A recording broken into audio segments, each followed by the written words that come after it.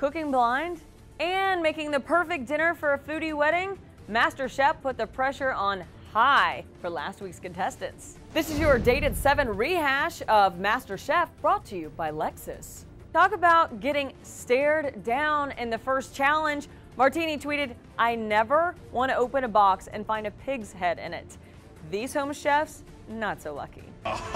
So awesome. First challenge, done, no problem. The next challenge, courtesy of last year's Master Chef, Christine Ha, a bit more tricky. Chad nailed it in his tweet. They're cooking blind. Come on, guys. If I could do it, you can do it. Or maybe not. Christine was just messing with them. Searchman said at least they got a brief taste of what it's like to be a blind chef. Amina tweeted, she's sad they're not cooking blind. She's only joking. Take your blindfolds off. Ultimately, even with full sight, Beth lost the challenge and had to be sent home. Elmo tweeted, Beth has been on the chopping block many times, and that was just her time to go.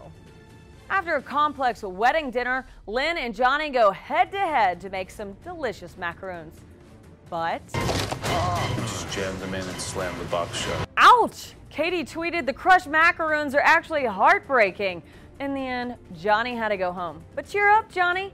Pam posted on Facebook, she'll let you cook for her anytime. And don't forget to tweet along with us during tonight's episode of Master Chef with hashtag D8At8. And it starts right here on Fox San Antonio at 7.